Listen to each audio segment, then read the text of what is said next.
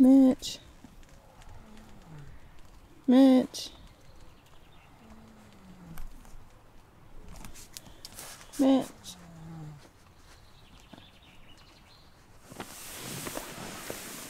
Come on.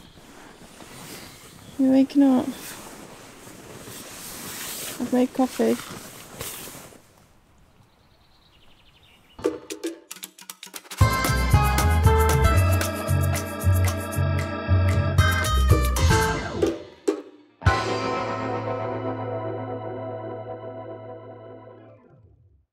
Good morning, everyone. I can't believe this is our final morning of this trip, and we are back where we started, which you wouldn't have seen last night because it was pitch black when we got here and we had to put up the tent. But yeah, we've made it back to where we spent the first night, which feels kind of surreal, not gonna lie. I did not sleep well at all. You can really tell I couldn't get to sleep and then I couldn't stay asleep and then I've been up early this morning as well. Hence me trying to wake Mitch up because I've already started packing my bag and thankfully we came back to this place one because um, the people who host this on Bunk a Biker are so lovely and two because we knew that they had this set up as well in here but it's just meant that we've been able to put all of our stuff in here rather than in the tent because of the rain yesterday everything did get wet. So it's been nice that we've been able to put everything in here. And also also I mean I didn't realise this at the time but it was great the fact that we came back and they have this which they had here the, the first time. Full on camping gas stove. So I've just been able to make us a coffee without trying to faff with our stove. So I'm very grateful for that this morning it's currently about quarter to eight we need to have left here by half eight to make all the timings for today. So hence me being up and my brain being busy. And yeah, I can't believe that when we first arrived here I wondered about the memories that we'd create along the trip. And now we're here all this time later and we've got them all. It's crazy, yeah. I'm uh, I'm I'm thinking and feeling a lot this morning. But come on, Mitch, your coffee's gonna go cold.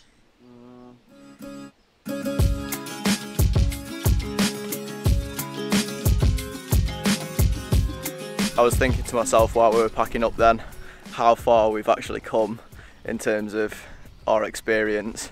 Not that we're experts at camping now, but we're certainly experts at our equipment. We only had 30 minutes to put all that away, and neither of us were stressed about it at all, which just shows how far it's how, like how much it's changed. If we had 30 minutes before, well, we would have been very very late. I think it took about three times as long as that to start off with. But yeah, it's uh, it's great to see. My gloves are still nice and wet from yesterday. Yeah, mine are wet as well. but at least it's sunny. I've got no fuel. Oh shit, yeah, I forgot about that. Oh my god, that didn't even sound good. These poor bikes need a holiday.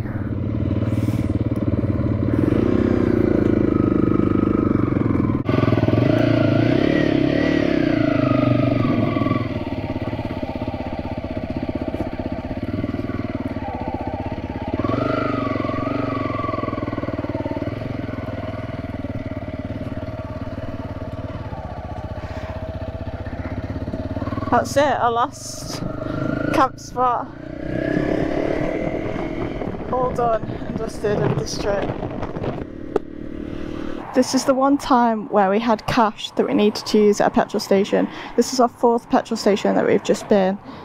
The ones that do have a shop didn't have uh, petrol, and then the ones that do don't.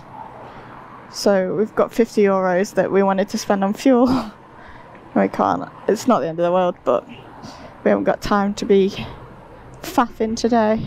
You can probably tell by Mitch's eyes this morning that this ride home was pretty hard work, and we've definitely learned a lot from this trip of what we did and didn't enjoy and how we can make our lives better on our next adventure. We'll go into more specifics on our stretch back home on English soil and also give you a brief rundown on how much we spent on this trip in case it's something that you fancy having a go at yourself. It's also worth noting that this trip wouldn't have been possible if it wasn't for Bikesure, a specialist motorcycle insurance broker who kept us covered through their 90 day European cover on this trip. From the second we got off the ferry to Calais to now riding through the last rainstorm of this trip, it was so reassuring knowing that even when we were far away from home, we still had the best cover possible. Bikesure prides themselves on ensuring motorbike riders from every walk of life. Even when other companies struggle, they'll find a policy for you. Whether you have a sports bike, Chinese scooter, moped, classic bike, modified bike, or even something totally off the wall, Bikesure can help. They also understand that your bike is an important part of your life. I mean, especially for us when you're living on it day in, day out. Bikesure share the same passion as most of their staff are genuine bike enthusiasts or owners, which from personal experience makes such a difference when you ring them for a motorcycle insurance quote. I'll leave a link at the top of the description so that if you're looking at doing a similar trip to us or are in the market for motorcycle insurance, then you can give Bikesure a call and they'll be able to tailor a quote to you.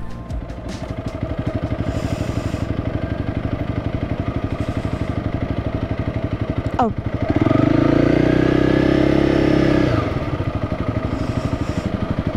Bonjour. Hello. Uh,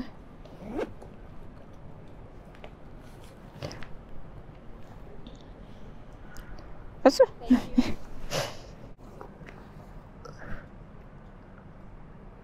Thank you. Which ferry are you booked on?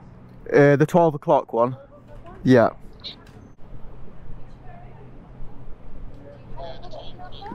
Pardon? Have a booking number? Uh, yes. Do you have a booking number? Because I can't find you with your name. Um.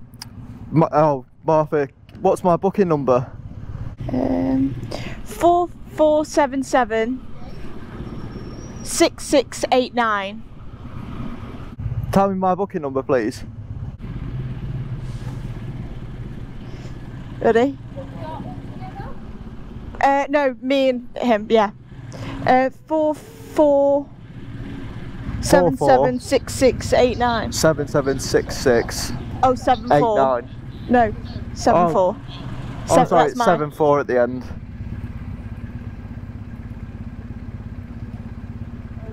Yeah, thank you. Uh, it's a BMW. No, it's a Honda. So next one, 12 o'clock. Lane 104, please. Yep. Thank you.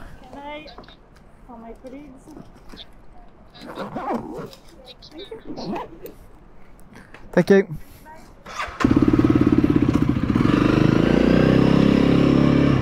They were very nice.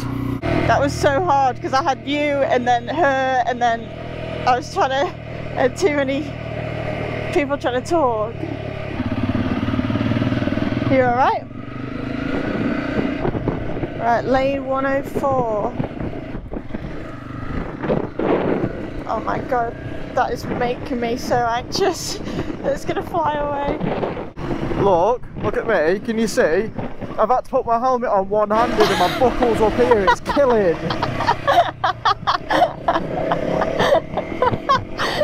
Oh my god. 104. The damage.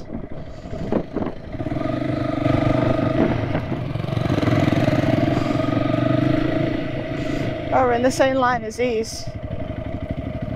Oh, people are boarding. Oh, Oh, this is the ferry. I didn't. e- Honestly, I'm that tired. I didn't even notice there was a ferry in front of us then.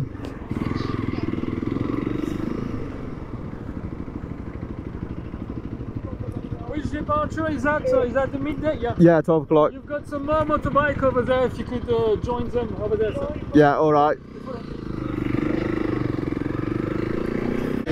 Oh, we're joining all the bikes. Yeah. Always got TRF stickers.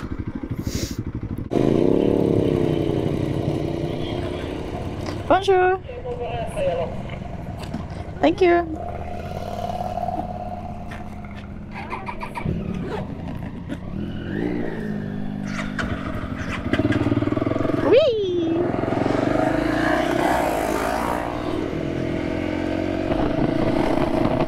No. Do not do a wheelie. Oh man. At least we're like used to this. When we did the first ferry, we didn't have a clue what was going on and now I could basically just drive the boat. What? Oh no, we're gonna have to stop on here. Oh no, we're not.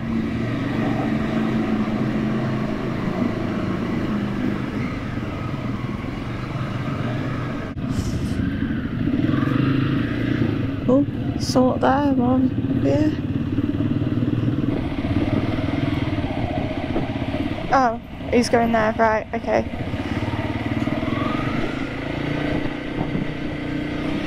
Oh, wait, what, what, Mitch? Oh no, I'll just go there.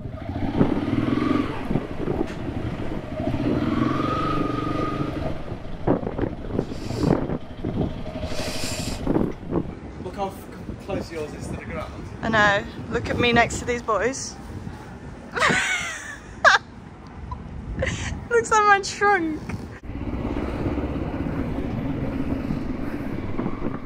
Oh, back on British soil, mate. We've actually put our waterproofs on because we're back in England and that's one place where you know that rain is predicted. We've dried off a little bit thankfully and uh, yeah, five hours. Do you want to come in front? Condo. Just look, we'll nip through here, same as these. Yeah. We don't have much luck with customs, so uh, yes, good lad. Hey, he was the one that pulled us in last time. He was, wasn't he? Surely not. He was, Marv, I swear on my life, he was the one. And then they wanted to drill a hole in the floor of a van because they thought we were stashing cocaine in the floor.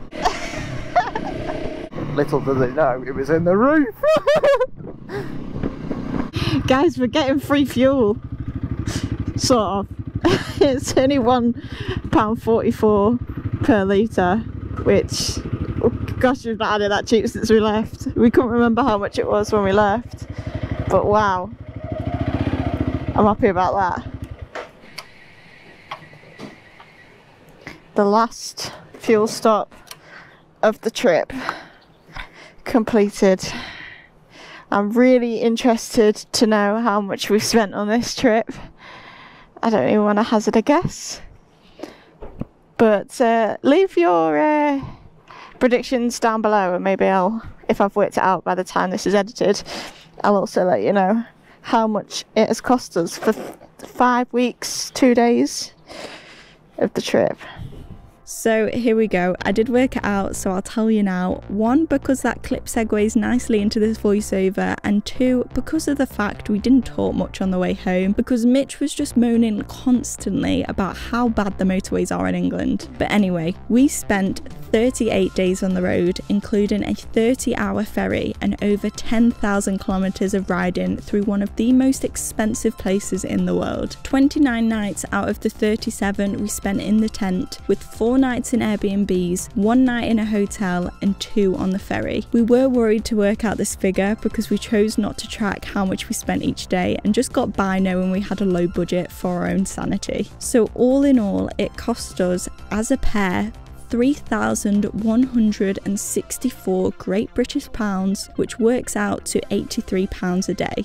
I know what I think about that figure, but let us know what you think in the comments below. That leads us on to was it worth it? The struggles, the low points, the close calls. Was switching from our nice warm van to practically carrying everything we own behind our bums? Well, that's a resounding yes. Not only was this our first ever long distance trip on two wheels, but like we said from the start, it was the test to find out what we did and didn't enjoy. We knew it would be tough, we knew it was way out of our budget, and we knew there was a chance that we'd make a mistake going into this with such little experience. And obviously, we made made a lot of mistakes right from the start, but that's allowed us to learn so much in such a short space of time, and we know what will be different on the next adventure. There's no doubt that this is the most lifetime memories we have ever made in such a short space of time. And also, just another quick reminder that we also plotted this whole trip on an interactive map with loads of information, including every camp spot, supermarket, fuel stop, water fill up, scenic viewpoints, plus so much more. It's all on there, including a free digital guide with all of our top tips as well. It will save you so much time, even if you travel to a part of one of the three countries we visited, and it's a great way to support us and get something in return. So, what's next?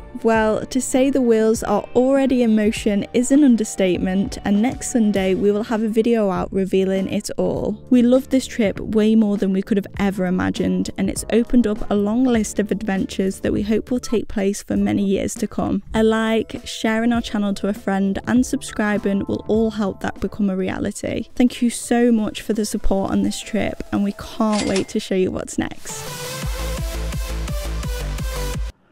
Mwah. That was the little, by the way, not you.